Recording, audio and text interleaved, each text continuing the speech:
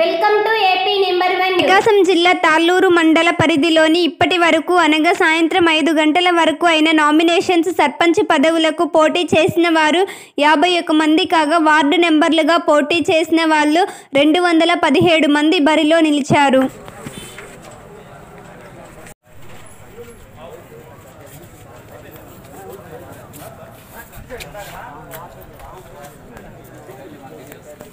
ఏనా ありがとうございます。